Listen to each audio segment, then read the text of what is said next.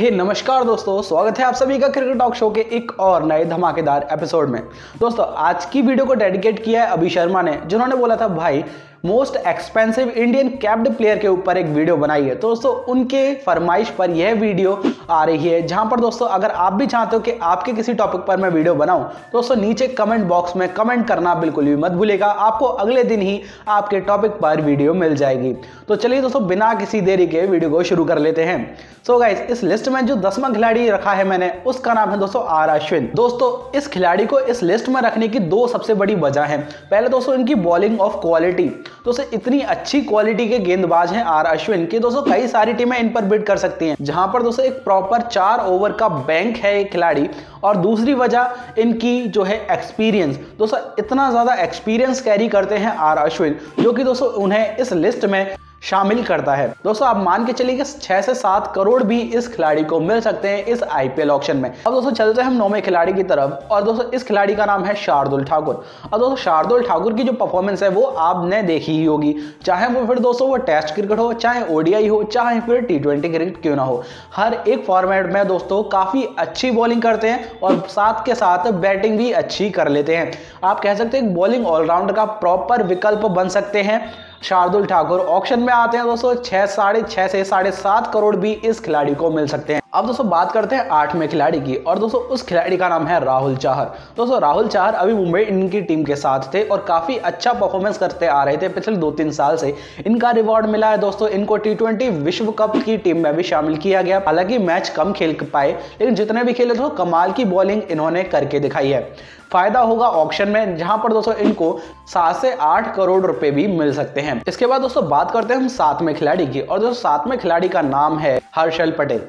दोस्तों, हर्षल पटेल को इस लिस्ट में लाता है उनका प्रीवियस ईयर का आईपीएल का फॉर्म, जहाँ पर दोस्तों उन्होंने एक ही सीज़न में 30 से ऊपर विकेट ले ली थी और पहले ऐसे इंडियन बॉलर बन गए थे, जिनकी 230 से ऊपर विकेट हो एक आईपीएल सीज़न में। इसके बाद दोस्तों कई सारे लोगों ने कहा कि ये अभी इंडिया टीम के लिए तैयार नहीं है और हो सकता है इंडिया टीम के लिए अच्छा परफॉर्म ना करें लक इनका काफ़ी ज़्यादा साथ दे रहा है। पर दोस्तों इन्होंने उस बात को भी रॉन्ग साबित किया, जहाँ पर दोस्तों इन्होंने इंडियन टीम की जर्सी भी पहनी और उस मैच में भी काफ़ी अच्छी परफॉर्मेंस हमें करके दिखाई। दोस्तों मान के चलिए साढ़े सात से साढ़े आठ करोड़ रुपए भी इस खिलाड़ी को मिल सकते हैं। इसके बाद दोस्तों बात करते हैं हम छठे खिलाड़ी की और दोस्तों छठे खिलाड़ी का नाम है शिखर धवन।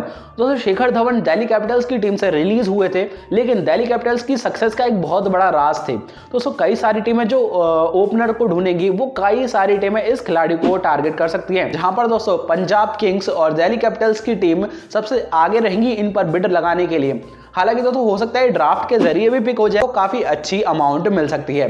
दोस्तों, मान के चलिए आप 10 करोड़ तो इनको मिलने ही मिलने हैं। इसके बाद दोस्तों, बात करते हैं हम पाँचवें खिलाड़ी की। और दोस्तों, पाँचवें खिलाड़ी का नाम है युजवेंद्र चहल। दोस्तों युजवेंद्र चहल की जो परफॉर्मेंस है, वो आप इनके आंकड़ों से भी नहीं आंक सकते। क्यों? क्योंकि दोस्तों, जहाँ पर युजवेंद्र चहल अब तक खेलते थे, वहाँ बॉलिंग करना स्पिनर के लिए काफ़ी ज़्यादा डिफ़िकल्ट हो जाता था। काफ़ी छोटा सा मैदान है आरसीबी का। वहाँ पर दोस्तों, इन्होंने बॉलिंग करके सबसे ज़्यादा विकेट लिए हैं आरसीबी के लिए। और दोस्तों, यही नहीं साढ़े सात से कम का इकोनॉमी भी रखा है इस खिलाड़ी का युजवेंद्र चहल का। दोस्तों, फ़ायदा इनको ऑप्शन में ज़रूर होगा। हो सकता है ड्राफ्ट के ज़रिए। अगर दोस्तों ड्राफ्ट के ज़रिए गए तो इनको दोस्तों 11 से 12 करोड़ रुपए भी मिल जाएँगे। इसके बाद दोस्तों, बात करते हैं हम चौथे खिलाड़ी की। और चौथे खिलाड़ी का नाम है दोस्तों श्रेयास अय्यर। अब दोस्तों, श्रेयस अय्यर को इस लिस्ट में रखने का मेन रीजन है उनकी कैप्टनसी का विकल्प। दोस्तों, इस सीज़न को छोड़ के पिछले दो सीज़न से दिल्ली कैपिटल्स की कप्तानी करते हुए आ रहे थे श्रेयस अय्यर। एक बार क्वार्टर फाइनल तक लेके गए, अपनी टीम को एक बार फाइनल तक लेके गए। तो काफ़ी सारी टीम जिनको कैप्टनसी की ज़रूरत है और हालाँकि कई सारी टीमों को कैप्टन की ज़रूरत सच में है। दोस्तों कई सारी टीम इनको पिक कर सकती हैं, इन पर बिड कर सकती हैं और ड्राफ्ट वाली टीम भी इनको एज अ कैप्टनसी के विकल्प के तौर पर देख सकती है। जहाँ पर दोस्तों, आप मान के चलिए फ़र्स्ट रिटेंशन के तौर पर भी इनको लिया जा सकता है। जहाँ पर दोस्तों फ़र्स्ट रिटेंशन जो है पंद्रह करोड़ की भी हो सकती है। इसके बाद दोस्तों, बात करते हैं हम तीसरे खिलाड़ी की, जिनका नाम है दोस्तों हार्दिक पांड्या। अब दोस्तों, कुछ लोग कहेंगे कि हार्दिक पांड्या अपनी प्राइम फॉर्म में नहीं है और हो सकता है इन पर इतनी ज़्यादा बिड ना लगे।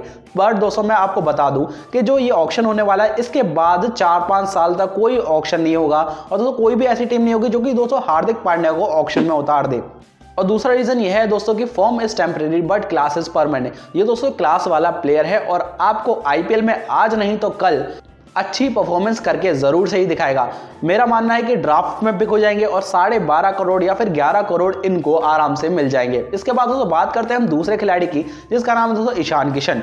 दोस्तों, ईशान किशन एक तो विकेट कीपर बैट्समैन है। फ़र्स्ट बेनिफिट इनको यही मिल जाता है कि दोस्तों विकेट कीपर बैट्समैन की भरमार काफ़ी कम होने वाली है और कई सारी टीमें विकेट कीपर बैट्समैन को टारगेट करेंगे। जहाँ पर दोस्तों, अगर वो विकेट कीपर बैट्समैन ओपनर हो तो काफ़ी अच्छी बात हो सकती है। जहाँ पर दोस्तों, अब इन पर कई सारी टीमें आप कह सकते हैं दस की दस टीमें बिड कर सकती है और यह खिलाड़ी आप मान सकते हो चौदह से पंद्रह करोड़ में भी बिक सकता है। इसके बाद दोस्तों, पहले खिलाड़ी के बारे में हम बात कर लेते हैं, जिसका नाम है दोस्तों, के राहुल। कमाल, लाजवाब राहुल, अगर दोस्तों ऑप्शन में आ जाते हैं ना आईपीएल का अब तक का रिकॉर्ड टूट जाएगा और आप मान सकते हो कि अब तक के सबसे महँगे खिलाड़ी बन जाएँगे के राहुल, अगर ऑप्शन में आ गए तो। हालाँकि दोस्तों, दो नई टीम इनको बिल्कुल भी ऑप्शन में जाने नहीं देना चाहेंगी और चाहेंगी कि इनको पहले से ही ड्राफ्ट में पिक कर लिया जाए, भले ही पंद्रह से सोलह करोड़ इनको क्यों ना मिल जाए। दोस्तों, अगर ये ऑप्शन में आ गए, फिर तो दोस्तों सोलह, सत्रह क्या, इन पर बीस करोड़ भी आराम से लग सकते हैं। दोस्तों, यह थे वो दस खिलाड़ी, दस इंडियन कैप्ड खिलाड़ी, जो इस आईपीएल ऑप्शन में काफ़ी ज़्यादा महँगे जाएँगे। दोस्तों, आपके हिसाब से ऐसा कोई खिलाड़ी रह तो नहीं गया, जो इस लिस्ट में ना आ पाया हो प्लीज़ कमेंट करके ज़रूर बताइएगा। और दोस्तों, यही था आज की वीडियो में। अब मिलेंगे किसी नई वीडियो में किसी नए टॉपिक के साथ। जब तक के लिए धन्यवाद। जाने से पहले मेरी आपसे छोटी सी गुजारिश होगी कि अगर अभी तक आपने चैनल को सब्सक्राइब नहीं किया तो सब्सक्राइब कर लीजिए। और अगर बेल आइकन को नहीं दबाया तो बेल आइकन को भी दबा दीजिए, ताकि आपको मिल सके हमारी वीडियोस की नोटिफिकेशन सबसे पहले और सबसे तेज।